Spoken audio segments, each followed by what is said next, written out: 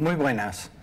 En el Año Internacional de la Luz y las tecnologías basadas en la luz, hoy vamos a hablar sobre el color de los alimentos.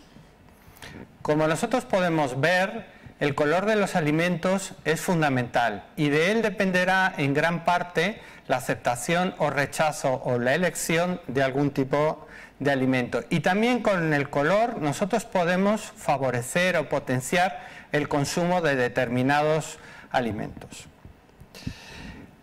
Muchas veces tenemos asociados a los alimentos con un color característico, pero muchas veces realmente eh, no sabemos eh, a, qué, a qué alimento se trata.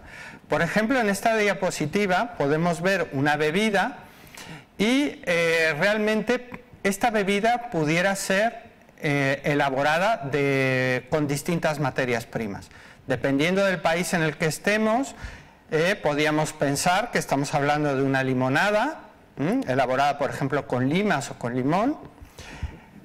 Por ejemplo, en México podía ser un jugo, un zumo de nopal, ¿eh? que son los cladodios de Opuntia indica, o pudiera ser también una bebida elaborada con alfalfa o con espinacas o con apio.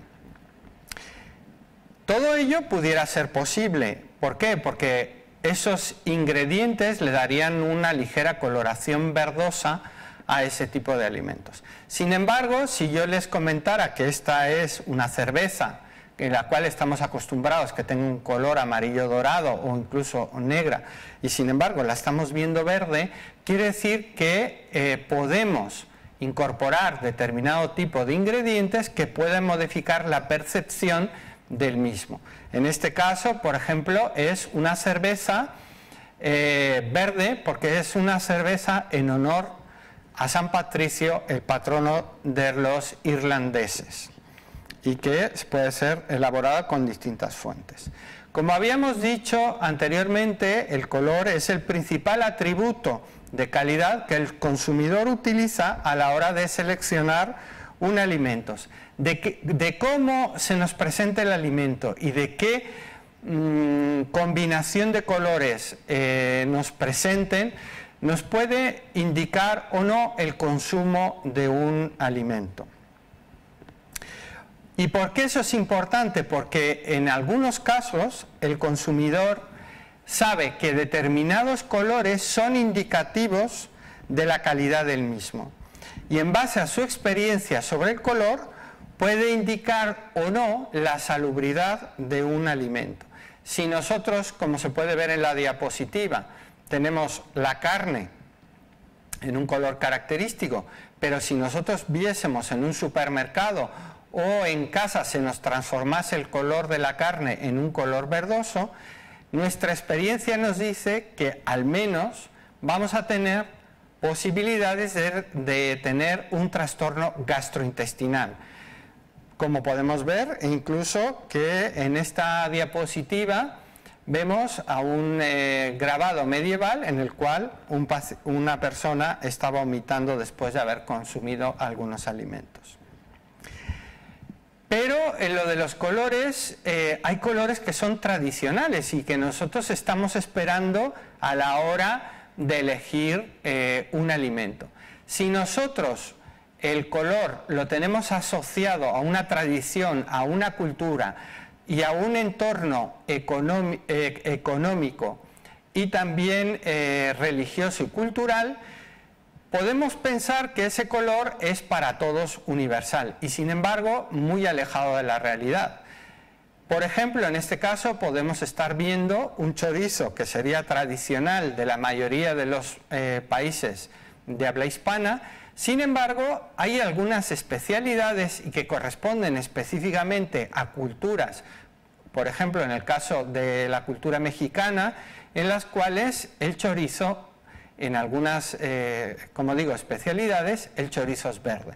Si yo ese chorizo verde lo trajese ahora mismo a España, probablemente habría un rechazo general a ese tipo de productos sin, sin entrar a probarlo, ni si está bueno ni si está malo, sino que ya el propio color nos indicaría un rechazo posiblemente al consumo de estos alimentos.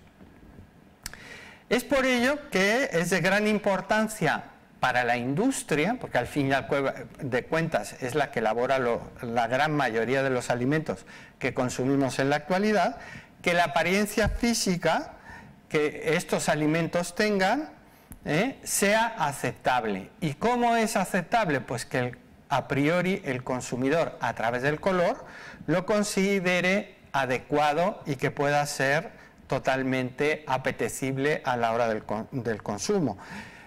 De hecho, quizá uno de los, eh, de los procesamientos o de la, de la, manipulación de alimentos para la obtención de alimentos elaborados, eh, donde más incidencia se hace en el color es justamente en las frutas, porque en gran parte del procesamiento ese color atractivo, como podemos estar viendo nosotros ahora mismo, en el caso del mamey o del rambután o incluso el aguacate, la piña o el arándano, es muy importante porque gran parte de ese color atractivo que nosotros podemos ver ahora mismo se puede perder.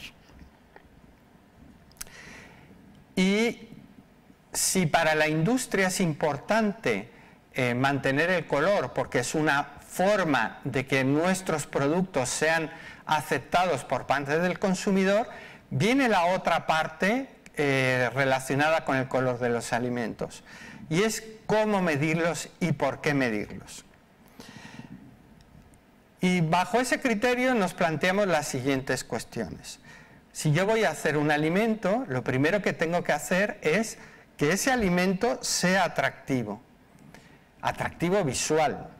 Es decir, ¿y por qué? Pues porque comemos con los ojos. Es decir, eh, cuando nosotros vamos a un anaquel a una estantería en un supermercado, siempre nos llama la atención aquellos colores que sean llamativos y es por eso importante que eh, sea atractivo.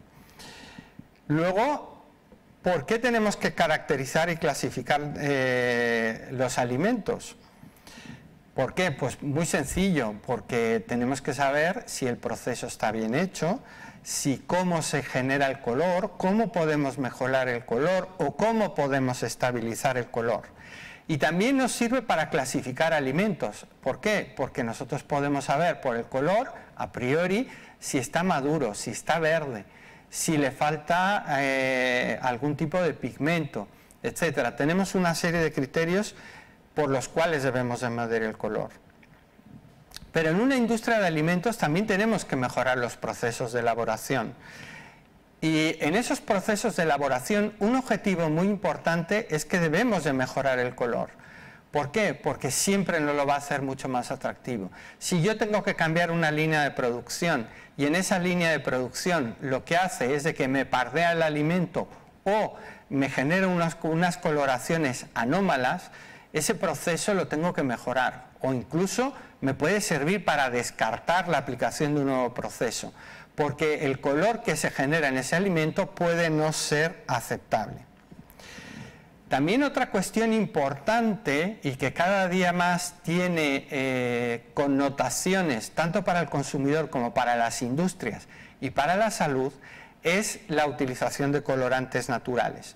Es decir, tenemos que buscar y eh, extraer aquellos colorantes naturales que en la fruta nos muestran esos colores tan brillantes, tan bonitos, que hacen tan atractivo ese alimento en fresco al consumidor y tratar de mantenerlos. ¿Por qué? Porque cada vez más el consumidor es consciente de relación que hay entre, entre lo que comemos y su salud. Y por ello muchas veces eh, demanda a las industrias que hay una reducción de colorantes artificiales porque considera que en algunos aspectos deben de ser retirados. No estamos diciendo aquí que, sean, eh, que tengan algún tipo de problema, pero sí el consumidor los ve como que pueden ser suprimibles. Y es ahí donde la tecnología de alimentos tiene que hacer eh, su papel en la mejora, la extracción y la estabilidad de ese color a lo largo del proceso de elaboración de alimentos. También es importante que eh, el color nos sirva para estandarizar el producto. No nos gusta encontrar un alimento que compramos eh, procesado que un día esté más rojo, otro día menos rojo, un día esté verde o otro día esté en verde pálido, sino que siempre que consumamos un alimento debe ser siempre homogéneo. Y también otra cuestión importante para los cuales eh, debemos medir el, color es porque el color también dependiendo de la edad eh, va a depender eh, las, aquellas características de color. No es lo mismo elaborar un alimento para un niño o para un anciano que para una persona, para un adolescente o para una persona adulta. ¿Por qué? Porque la percepción del color desde el punto de vista fisiológico es muy distinto. Prueba de ello es que en los niños les gustan colores chillantes y de hecho muchas de las golosinas que se utilizan o que se venden para niños especialmente tienen colores sumamente chillantes y en el caso de las personas mayores donde han perdido agudeza visual hay que reforzar con, con colorantes ese color para que más o menos aprecie el mismo color al cual siempre ha estado ah, asociado. Y por último también, y no menos importante, es que eh, colores atractivos, tanto en producto como en envases y en embalajes, eh, favorecen el marketing. Y de ahí también que eh, se favorezca la investigación, el desarrollo y la innovación y sea uno de los campos de más eh, estudio en la actualidad, que es el color en los alimentos.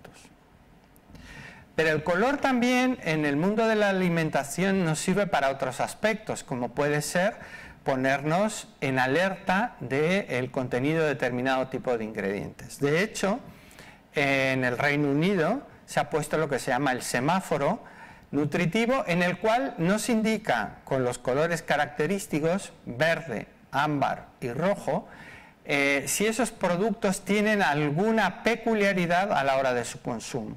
Es decir, si yo encuentro un semáforo, bueno, un color rojo en unas eh, patatas fritas, puede ser indicativo de que tienen un contenido de sal muy elevado o en una bollería industrial en el cual podemos tener grasas trans o, otro tipo de grasas eh, saturadas que no son idóneas para o, no son mm, recomendables por la cantidad que tiene en su consumo.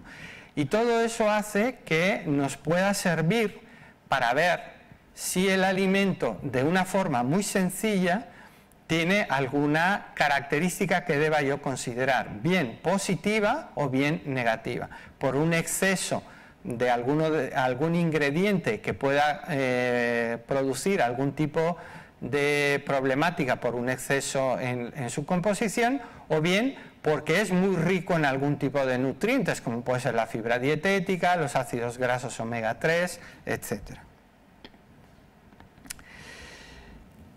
El color en sí mismo lo podemos apreciar de distintos puntos de vista.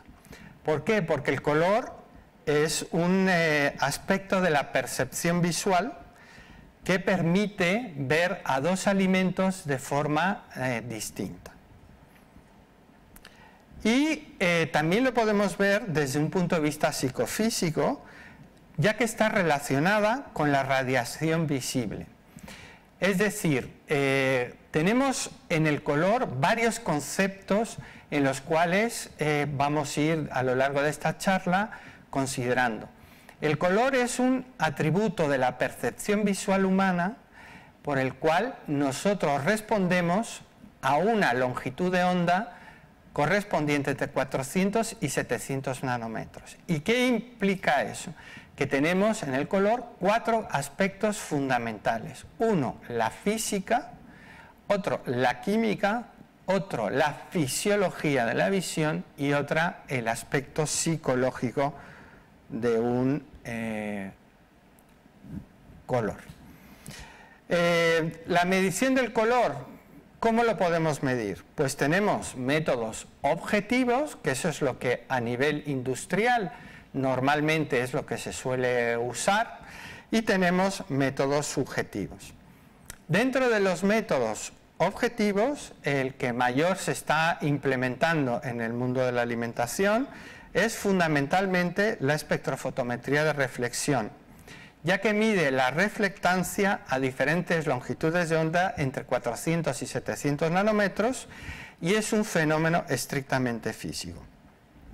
Y tenemos el punto subjetivo en el cual eh, con un em, personal entrenado puede diferenciar las eh, distintas intensidades de los colores.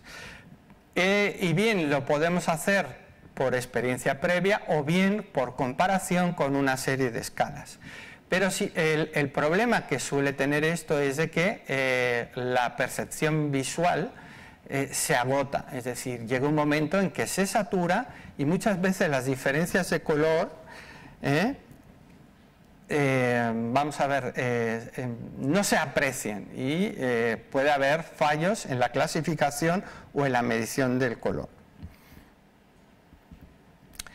Como habíamos dicho, el color es una sensación subjetiva, resultado de una compleja serie de respuestas fisiológicas y psicológicas a la radiación electromagnética de longitudes de onda comprendidas en 400 y 700 nanómetros.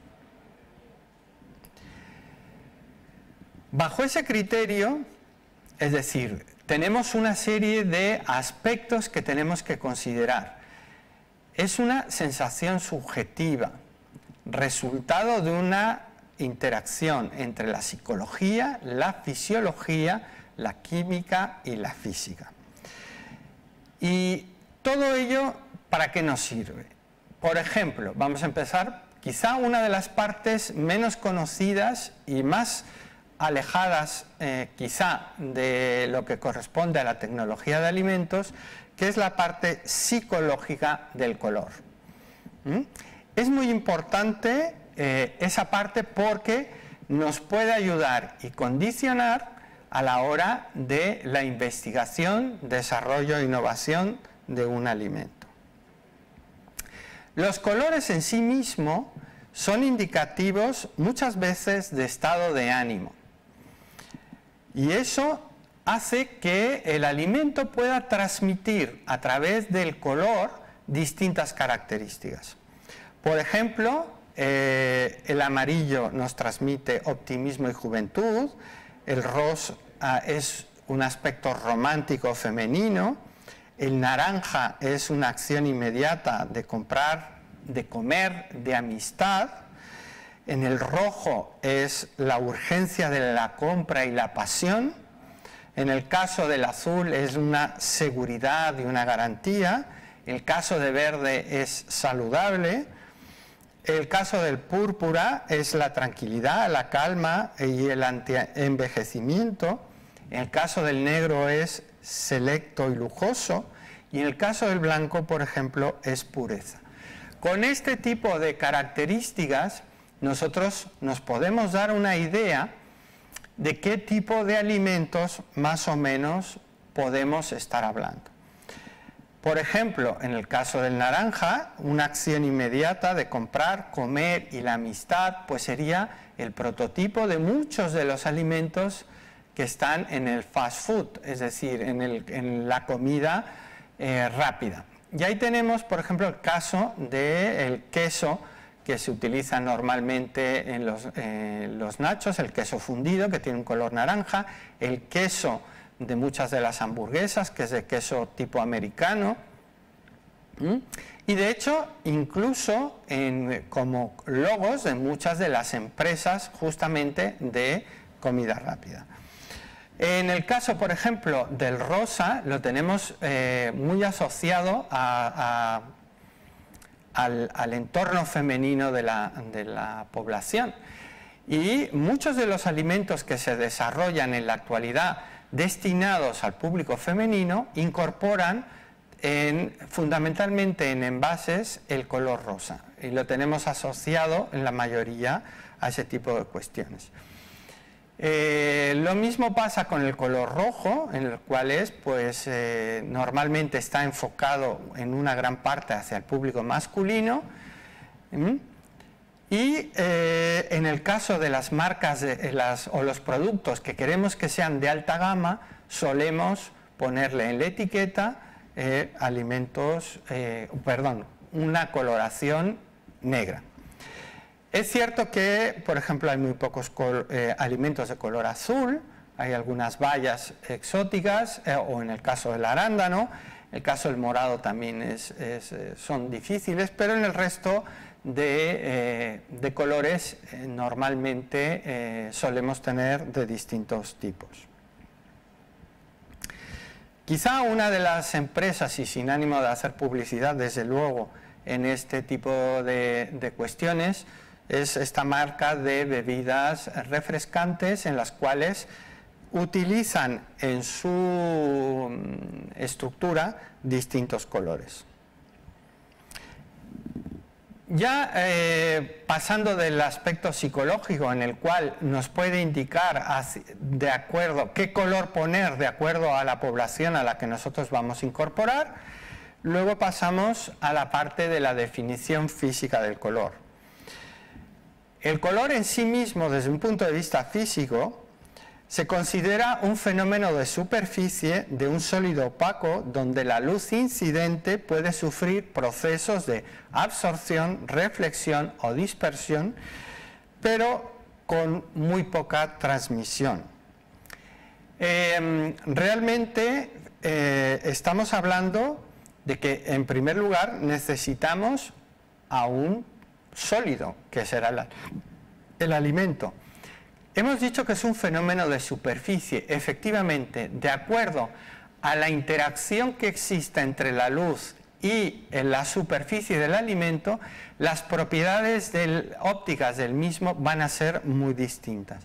Y otro aspecto importante a considerar en el alimento es la estructura del mismo. No es lo mismo tener una barra de mantequilla o una manzana a tener azúcar o tener eh, café en polvo. La interacción de la luz en superficie de este tipo de, estructuras sobre, eh, con la luz hace que el color se pueda ver de formas completamente distintas. Así nosotros vemos que el color naranja se ve naranja, ¿por qué? Porque una vez que se descompone el prisma, eh, perdón, la luz en, las distintas longitudes de onda, estas prácticamente se absorben y la única que se refleja es lo que nosotros vemos en ellas. Pero eh, nosotros podemos eh, engañar o modificar o ver un color de forma igual y sin embargo no ser lo mismo. ¿Y de qué depende? De la luz incidente. Habíamos dicho que era un fenómeno de superficie, de una luz incidente, y la luz nosotros consideramos, o en general el público considera que hay una, o hay una sola tipo de luz. Sin embargo, nosotros tenemos distintos tipos de luz o distintas fuentes de luz. Y por ello, muchas veces eh, nos encontramos que un alimento nosotros en el supermercado lo vemos exactamente igual, pero cuando nosotros salimos al exterior cambia radicalmente y eh, ya no se parece o, encontramos diferencias entre un color y otro. Muchas veces eso se ve eh, más, quizá o nos hacemos más caso en la ropa que realmente en los alimentos. De ahí tenemos distintos tipos eh, de, fuentes de luz y tenemos distintos iluminantes. De hecho, tenemos eh, los que normalmente utilizamos en tecnología de alimentos, por ejemplo, es el D65, que es el de la luz solar, o la, eh, el iluminante A, que es la, la, bombilla de tusteno, la de 100 vatios, que nosotros pues, prácticamente en muchas de nuestras casas todavía mantenemos. Cuando un objeto ante dos iluminantes iguales, nosotros vemos lo mismo, decimos que tiene un metamerismo de iluminante. Pero eh, también en, la, en el color hay otro aspecto importante que es quién lo ve. Es decir, no hay color si no hay una luz que lo ilumine, un objeto sobre el que interactúe pero necesitamos a alguien que lo vea, que es el observador. Y el observador también tenemos de dos tipos. El, observador 2 grados y 10 grados, que van relacionados con eh, el ángulo en la fobia del ojo en el cual se recibe la, eh, la fuente de luz. Cuando con dos observadores el color es exactamente igual, llamamos que es un metamerismo de observador. Eso también nos sirve muchas veces a la hora de poner los alimentos en exposición a la luz. Aquí podemos ver cómo la distribución espectral del iluminante D65 y del iluminante A es muy distinta. Me gustaría hacer notar que en el caso del iluminante A tenemos una fuerte componente roja entre el naranja y el rojo, lo cual hace que nos potencie mucho más los colores rojos. Si yo quisiera hacer que un alimento fuese mucho más rojo, utilizaría este iluminante para eh, potenciar el, color rojo de un alimento.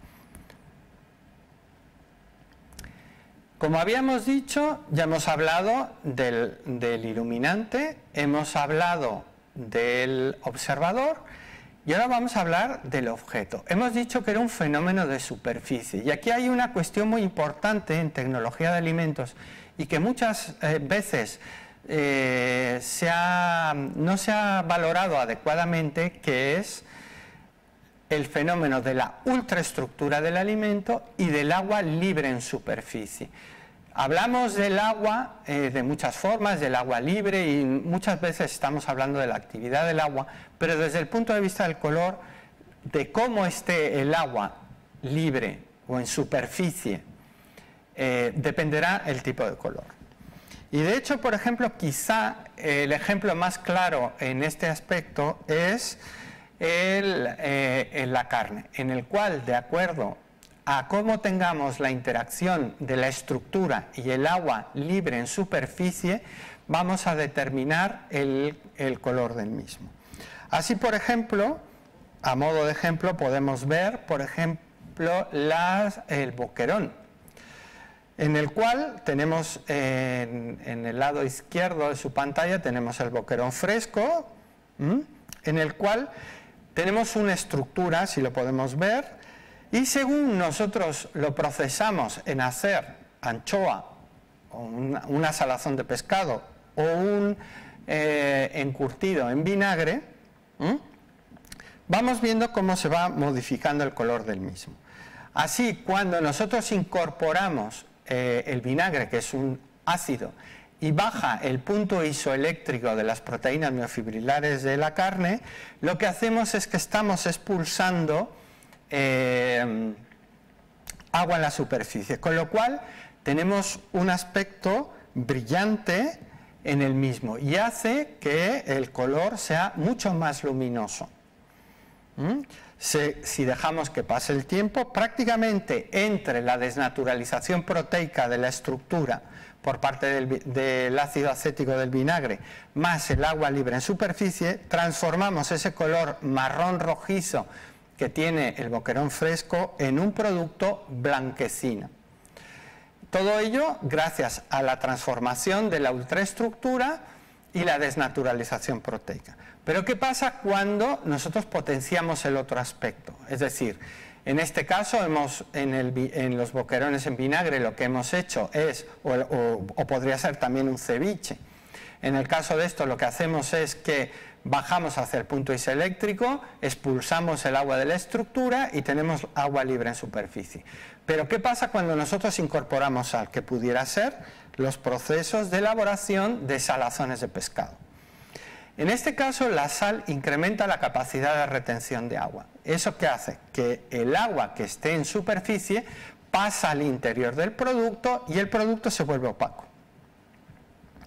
Y entonces ese, color eh, blanquecino desaparece porque no hay luz, o sea, no hay moléculas de agua en superficie que reflejen la luz.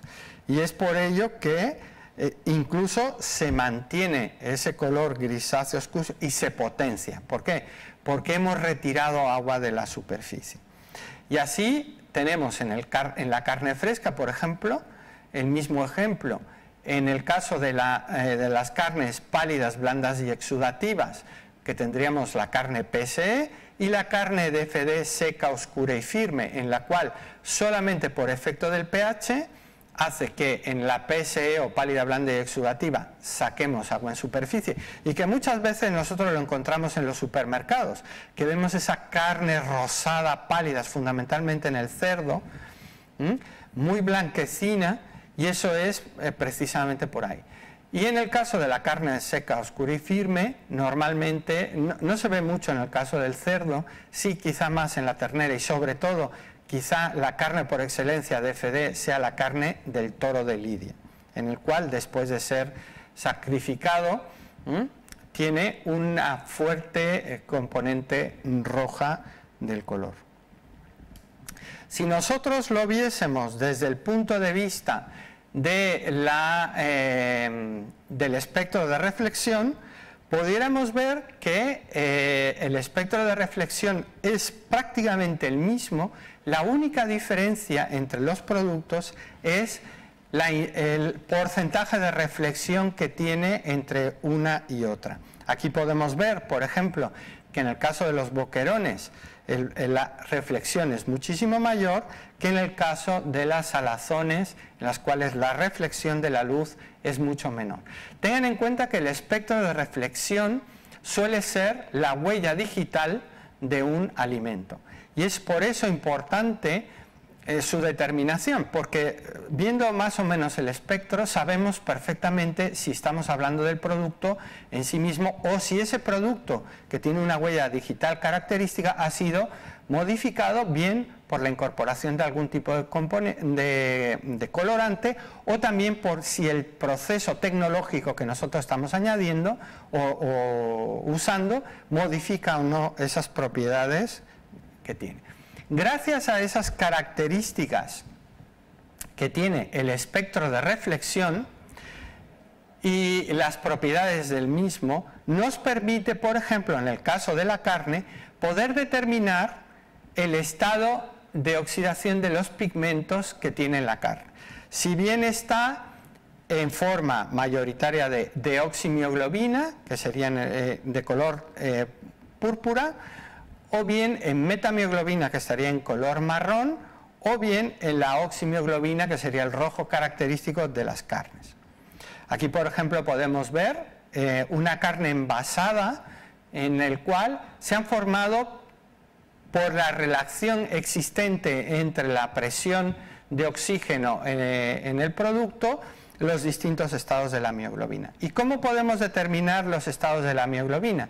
Por una característica importante, que son los puntos isobésticos, en los cuales a determinadas longitudes de onda el valor de eh, la reflexión es exactamente igual en cada uno de los distintos estados de la mioglobina. Como habíamos dicho anteriormente, el espectro de reflexión es característico y nos permite distinguir el producto en qué fase del proceso está. Así podemos ver cuando el color del espectro de reflexión es del jamón fresco, cuando está salado, cuando está en la etapa de posalado o realmente está en el afinado. ¿Por qué? Porque los espectros de reflexión se ven modificados por el proceso de elaboración. Con esos puntos isobésticos, que también ocurren eh, no solamente en la carne fresca, sino también en los productos elaborados, nosotros podemos determinar distintos índices que nos dan una idea de eh, cómo está yendo el proceso de elaboración. Así, por ejemplo, utilizando cocientes o índices de reflectancia, podemos saber el grado de nitrosación del producto. ¿eh?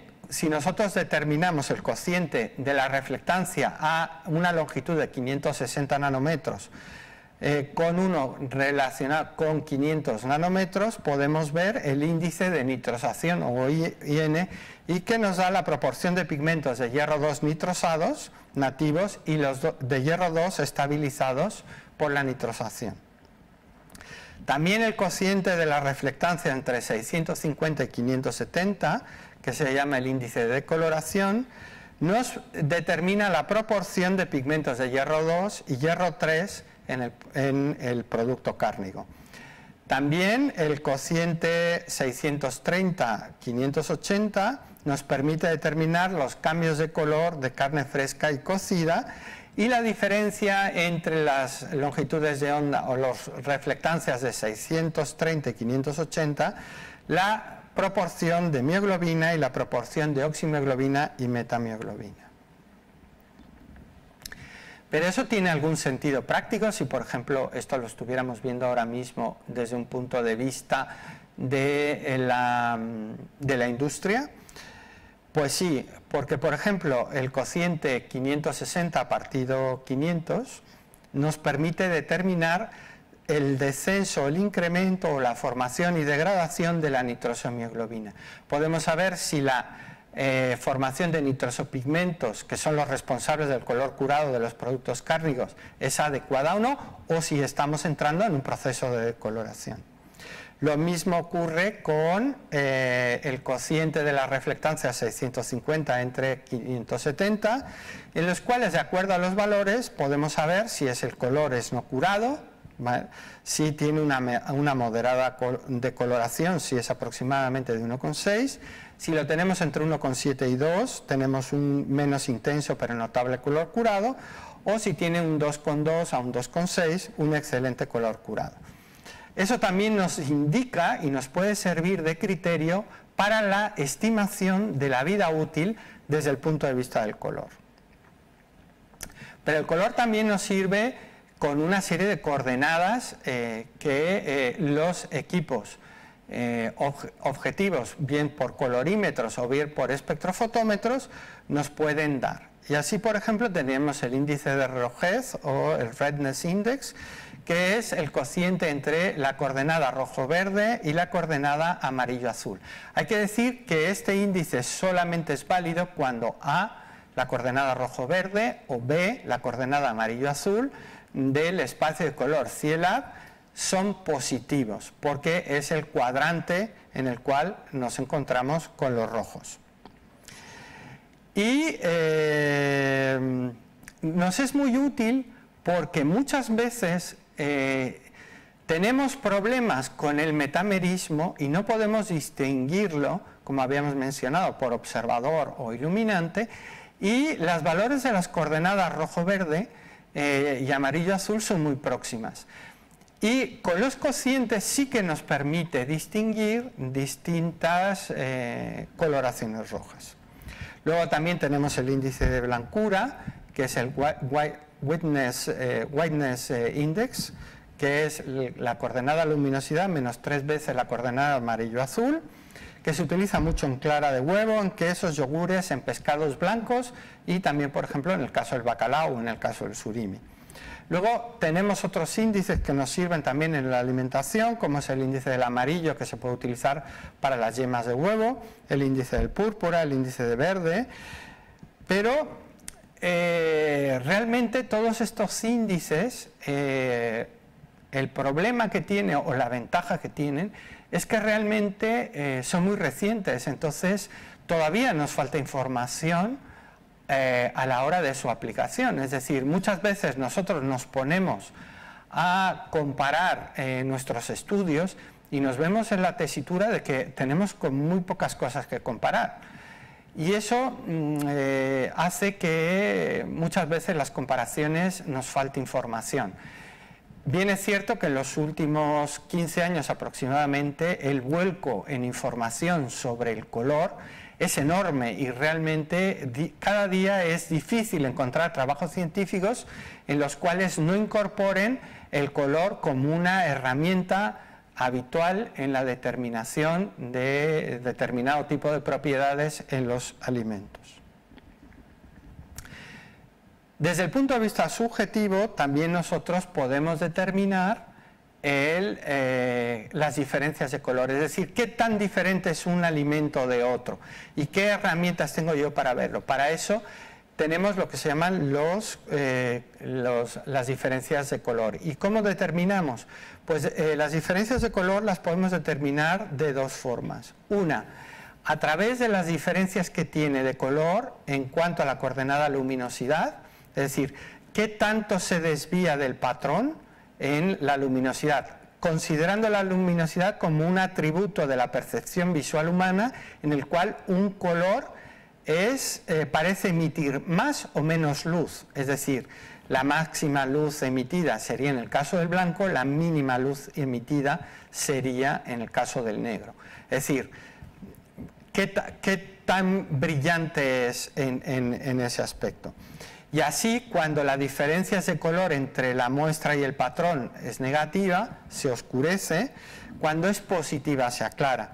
Lo mismo ocurre con la coordenada amarillo eh, rojo verde, en el cual también nos referimos en cuanto a un patrón.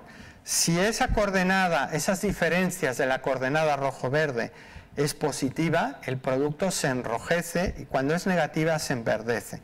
Lo mismo ocurre con la coordenada amarillo-azul, que en el cuando, cuando es positivo, la diferencia con respecto al patrón amarillea y en el caso negativo azulea. Y todo ello nos sirve para decir que en unidades concretas y de forma objetiva cuánto se eh, diferencia mi alimento o mi compuesto o mi producto con respecto al patrón. Y eso me permite a mí hacer las tolerancias de color. ¿Por qué? Porque a determinadas unidades el consumidor puede determinar o puede verlas o puede eh, diferenciarlas. Y muchas veces esas eh, distorsiones o separaciones con respecto al patrón, que es lo que el consumidor quiere, puede hacer la selección o rechazo del mismo. Dentro de la luz como fenómeno, muchas veces eh, los departamentos de calidad y D se ven con muchas quejas en las cuales eh, la gente, em, por desconocimiento, dice que en su producto hay aceite o, grasa. ¿Por qué? Porque ven un arco iris que muchas veces se forma justamente cuando nosotros vamos caminando, acaba de llover y justamente en el suelo vemos cómo se levanta el aceite y eh, con el agua y vemos el arco iris puesto ahí. Eso no quiere decir bajo ningún concepto que se haya incorporado aceite en el, en el en el alimento, sino que realmente es un proceso estrictamente físico, en el cual en los procesos de corte nosotros tenemos la rebanadora, tenemos nuestro producto y tenemos nuestra cuchilla. Pero muchas veces si nosotros lo viésemos al microscopio, la cuchilla, ese aspecto redondo que tienen las mismas, si nosotros la vemos al microscopio, veríamos sierras, pequeños picos. Hemos tratado de poner una imagen aproximada de ese tipo de picos de sierra, que lo que hace es que cuando pasa la rebanadora, lo que hace es hace pequeños prismas. ¿Qué pasa? Que cuando eso lo tenemos a la luz, lo tenemos en un envase y lo vemos a través de la luz, ¿qué hacemos? Que se despliegue el arco iris y es el aspecto que ahora mismo pueden estar viendo en su diapositiva y que es como he dicho anteriormente, estrictamente un proceso físico. Bueno, hemos visto la parte física, que es quizá la de mayor interacción y sobre la que muchas veces trabaja el tecnólogo de alimentos para poder em, ver em, cómo afecta los procesos tecnológicos, los procesos de conservación, que me permitan a mí determinar la vida útil, pero también tenemos eh, la otra parte, como habíamos dicho, ya hemos visto la parte de la psicología, estamos viendo la parte de la física y vamos a ver la parte de la química. Fundamentalmente, el color de los alimentos desde un punto de vista químico lo debemos a dos tipos de estructuras. Una, a los compuestos con enlaces de coordinación orgánicos, y a los metales de transición que se encuentran complejados o en coordinación con moléculas orgánicas. En el caso de los metales de transición, estaríamos hablando en particular del grupo hemo y es el responsable del color de la carne y de muchos de los pescados, y también en el caso de los compuestos orgánicos con dobles enlaces conjugados, que estaríamos hablando de carotenos, antocianos y otra serie de compuestos. Eh, en cuanto a los eh, compuestos con dobles enlaces, pues tenemos infinidad de alimentos porque son los responsables del color del mismo. Quizá uno de los más llamativos para la industria española es justamente el pimentón, en el cual eh, tenemos dos pigmentos importantes, que es la capsantina y la capsorubina, y que lo tenemos en distintas concentraciones en el producto. Y dependiendo del mismo y de la estabilidad del mismo, va a depender la aplicación que tenemos. Es decir, por ejemplo, aquí podemos ver eh, distintas pilas o tolvas en las cuales tenemos distintos pimientos, en los cuales tienen coloraciones distintas. Después del proceso de elaboración tenemos el polvo rojo brillante característico de este tipo de pimentones y luego su aplicación. Eh, tenemos ejemplos como el caso del chorizo, del pimentón, los quesos, también en algunos pescados se incorpora, etc. Y de cómo eh, sea estable eh, los pigmentos y la relación que tenemos con esos pigmentos, vamos a tener el color de los mismos. Otro de los pigmentos importantes en la tecnología de alimentos es el azafrán, como eh, la eh, especia quizá colorante más cara que tengamos y que por ese elevado precio eh, que tiene su obtención ha hecho que tengamos que en, algunos casos utilizar análogos o sustitutos de lo mismo, como es en el caso de la tartracina. Pero es difícil de sustituir el azafrán por la tartracina, porque si bien es cierto que tiene aspecto colorante gracias a la alfa-crocina, el azafrán además puede contribuir a dar un sabor con la picocrocina y el aroma a través del safranal. En el caso del, del, eh, del azafrán, realmente, como hemos dicho, es una de las especias más caras y sin embargo, en el caso de la tartracina es un colorante sintético muy barato y que tiene muchísima aplicación. Otro quizá menos conocido para eh, la industria eh, española o en europea es eh, la Vixa orellana que en, en, los países, en algunos países anglosajones como en Inglaterra o en Holanda se llaman NATO y eh, para nuestros países hermanos latinoamericanos se llama eh, el achiote y que tiene una gran infinidad de colorantes. Es una especie que tiene dos componentes importantes que son la vixina y la norvixina y que nos permite eh, estos dos colorantes, uno es liposoluble y otro es hidrosoluble, que nos permite su utilización en distintas matrices de alimentos. Y aquí podemos ver que tenemos la pasta de achiote, tenemos pues eh, en la comida mexicana es muy utilizada, en la comida ecuatoriana lo mismo y que lo utilizan en, para el queso cheddar o en el queso fundido o en algún queso holandés. Luego tenemos otro también muy utilizado natural que es el ácido carmínico que viene de estos eh, insectos y que pues colonizan a Opuntia indica y que gracias a ella se pueden obtener el, ácido carmínico de gran utilidad tanto para bebidas eh, refrescantes como para helados eh, y otros, eh, incluso también en, en, algún tipo de productos cárnicos como pueden ser algún tipo de mortadela o algún tipo de salchicha de pollo. También dentro de los colorantes naturales eh, tenemos la astaxantina y la cantasantina que los tenemos precisamente en los salmónidos y en los eh, crustáceos y en algunos moluscos. La astaxantina es fundamental para los salmónidos ya que es el que le da la coloración característica. En el caso de los crustáceos, además hay una peculiaridad que es el tratamiento térmico la que genera realmente esos colores rosáceos y se debe a las carotenoproteínas, en las cuales por el tratamiento térmico eh, se liberan y generan ese color característico.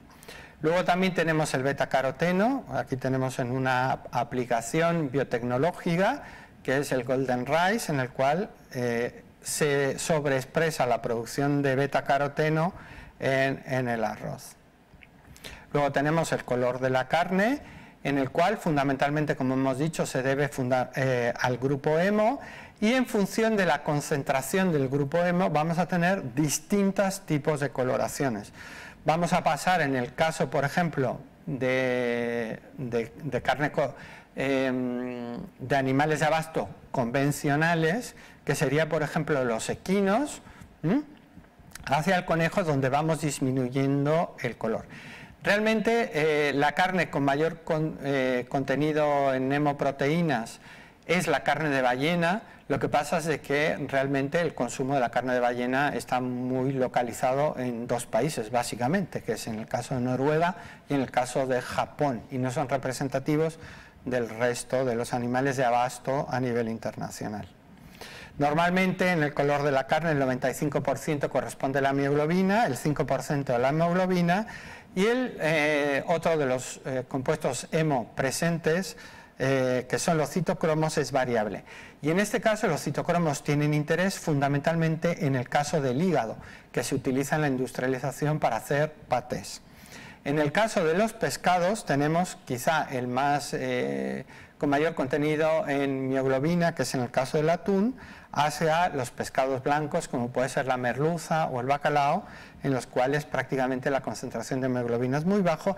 Y en el caso de los salmónidos, eh, en los cuales el color se debe a las deposiciones de astaxantina en las eh, miofibrillas. Como ya habíamos dicho, el color de la carne fundamentalmente se debe al grupo hemo y en función del enlace de coordinación, el sexto enlace de coordinación que tiene el grupo hierro, perdón, el, ion de, el átomo de hierro en el, perdón, el ion de hierro en el núcleo tetrapirrólico que tiene la mioglobina es el que realmente nos da la coloración. Así, cuando ese sexto enlace de coordinación está vacío, estamos hablando de la deoximioglobina, que es el color púrpura que muchas veces tienen las carnes envasadas a vacío. Cuando tienen agua, estamos hablando de la metamioglobina, que es el color marrón que tiene la carne. Y cuando ese sexto enlace de coordinación está con una molécula de oxígeno, estamos hablando de la oximoglobina, que es el color característico de la carne, ese color rojo hermoso que muchas veces vemos en las carnes que están expuestas en las vitrinas.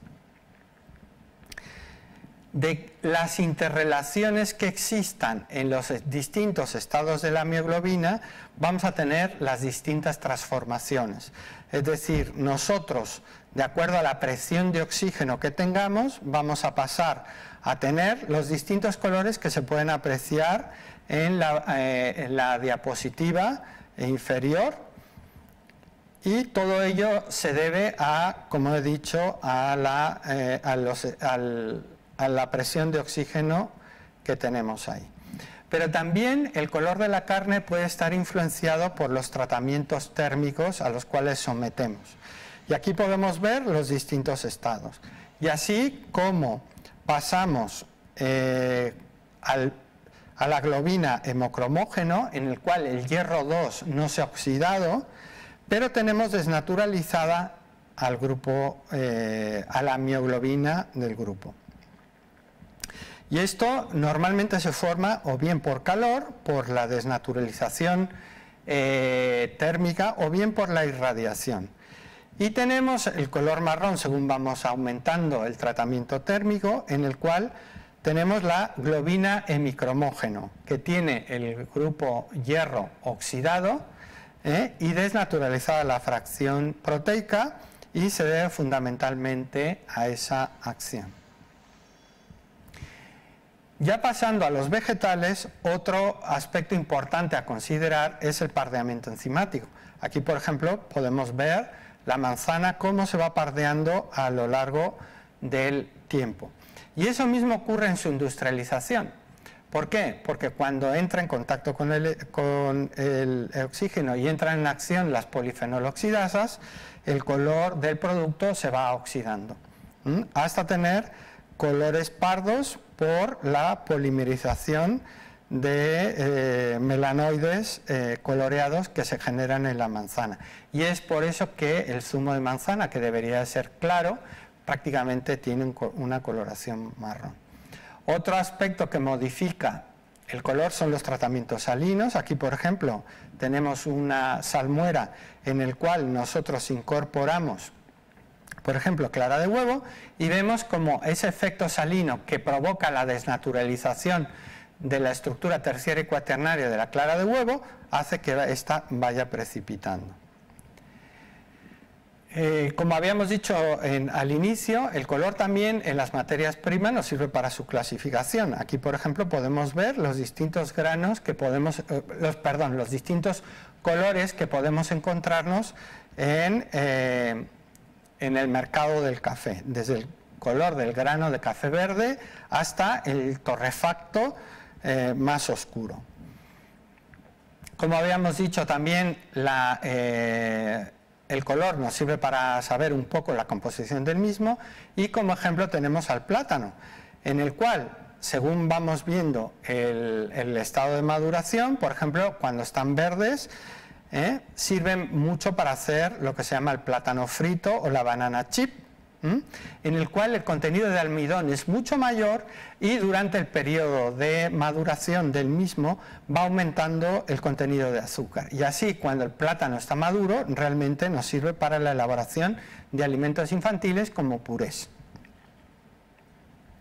En el caso, por ejemplo, ya mucho más eh, cercano a lo que es la Universidad Miguel Hernández, tenemos, eh, por ejemplo, en el caso del dátil, en el cual nosotros podemos ver en función del color qué características tiene y si tiene mayor contenido en ácidos, en azúcares, por ejemplo en los de coloración verde o a los de coloración marrón, en los cuales el aumento es muy importante de azúcares reductores y sólidos totales. Y así también cómo la astringencia del dátil puede disminuirse y podemos saber de acuerdo al color si nos vamos a encontrar con un dátil astringente o no. Por ejemplo, también tenemos otra forma que es la clasificación del huevo. Las claras de huevo, el, huevo normalmente eh, la gente pues se piensa que los huevos, el color de la yema es igual en todos los países y eso no es cierto. ¿Por qué? Porque en determinados países se buscan determinadas coloraciones. Hay países en los cuales les gusta que la yema sea de un rojo o perdón, de un amarillo, un naranja muy intenso, y hay países en los cuales prefieren un color tenue pálido. Lo mismo ocurre con la piel del pollo. Hay países en los cuales ver coloraciones amarillas no les gusta y hay países en los cuales eh, si el pollo no está amarillo, consideran que el pollo tiene algún tipo de enfermedad. Es, decir, tenemos los extremos y en el caso aquí, por ejemplo, podemos ver cómo tenemos una escala de amarillos y dependiendo del color que tú quieras en tus yemas, la alimentación animal se orienta hacia ese tipo de cuestiones. Lo mismo ocurre con el salmón. El salmón que se vende en los distintos países difiere de acuerdo a la coloración que eh, en ese país prefiera. Y eh, muchas veces eh, vemos como hay salmones en, nuestro en el mercado nacional, en el cual cuando tienen una coloración sumamente pálida, realmente el consumidor no los quiere y suelen quedarse en las pescaderías porque no se venden. Y hay países en los cuales se busca un, un color rojo del salmón muy intenso porque se aproxima más a lo que serían los salmones salvajes. Aquí tenemos una carta también en cuanto a las distintas coloraciones del café, eh, en el cual eh, podemos también elegir de acuerdo a las características del consumidor y el tipo de café que uno desee, podemos elegir los distintos. Y de hecho, muchas veces hay determinados, por ejemplo, en el caso del chocolate, se compra, en algunos países se compra por las coordenadas eh, objetivas, luminosidad, eh, la, eh, perdón, la coordenada luminosidad, unas coordenadas rojo-verde y unas coordenada amarilla-azul determinada o un croma o un tono determinado. Aquí en este caso, por ejemplo, también podemos ver cómo el, color sirve, en el caso concreto de la luminosidad y el índice de blancura o grado de blancura, podemos eh, determinar si, por ejemplo, la sepia, eh, el proceso de, pelado se ha efectuado correctamente o el proceso de blancamiento del surimi, sobre todo cuando es de pescado azul, se ha efectuado correctamente, pero también se puede utilizar en las masas de pan eh, y en algunos otros productos. Bueno, pues con esto agradezco la colaboración.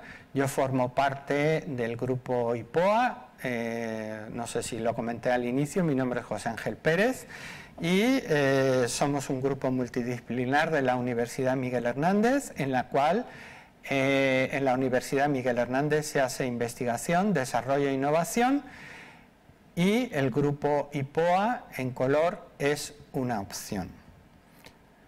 Eh, muchas gracias por su atención y eh, en el correo electrónico ja.perez.umh.es pueden eh, hacer las consultas o las preguntas que ustedes estiman oportunas y que les surjan después de esta charla. Muchísimas gracias y hasta una próxima ocasión.